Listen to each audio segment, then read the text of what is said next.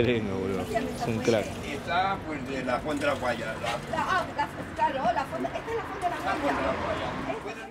Yo soy educadora ambiental y lo que hago es eh, controlar que haya una buena disposición de los contenedores, por una parte, y por otro que estén en buen estado y que haya un buen uso cívico de tanto de los vecinos como los comercios de, de cada contenedor y evitar pues bueno que no estén sucios y bueno hacer un control y dar información de cómo se depositan los residuos domiciliarios y comerciales y los horarios que tienen los comercios para dejar sus cajas y todo.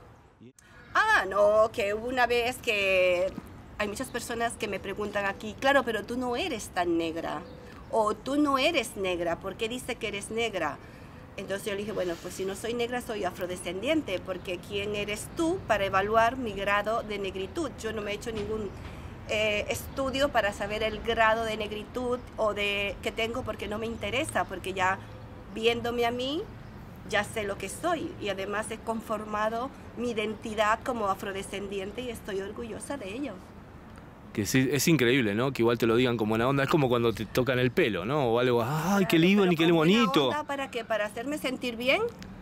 Que no te sientas mal porque eres negra. Yo no me siento mal. Yo vivo aquí feliz y si tú no me aceptas como soy, es un problema tuyo porque yo te estoy aceptando con tu mentalidad y no te he dicho que posiblemente tenga que vigilar tu grado de, de racismo o de clasismo que tenga.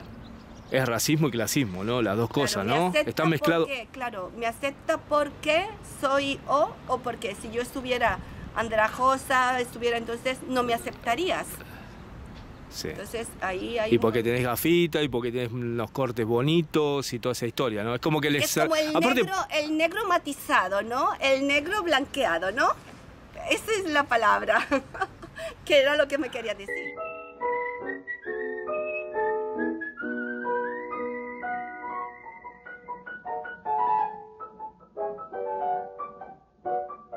Claro, pero entonces la soledad es una cosa que te llega cuando sales, pero tú no puedes superarla, porque yo eh, la identifico con una, con una mochila que yo la cargo, entonces yo decido tener mi soledad, el sufrimiento cuando yo quiera, es decir, ahora no me toca, yo me quito esta mochila de los recuerdos, de mis vivencias, de mi gente, porque todo ha cambiado. He cambiado yo, pero posiblemente han cambiado las personas que he dejado en mi país, ya no están, son diferentes. Yo también es- soy diferente. Yo no considero que soy la misma de la que vine.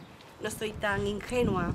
Claro, ahora yo he cambiado mi mochila y ¿qué intento? Pues eh, ocupar eh, ese espacio con otras personas, con otro entorno, buscar nuevos alicientes. Entonces, pero este esta añoranza nunca la, la, la- la apartas de ti, siempre la llevas contigo. Hay momentos en que te lo permite mirar una foto, llorar, volver a recordar, decir, qué bello era esto, pero tengo que entender que aquello ya no será lo mismo si yo vuelvo allí.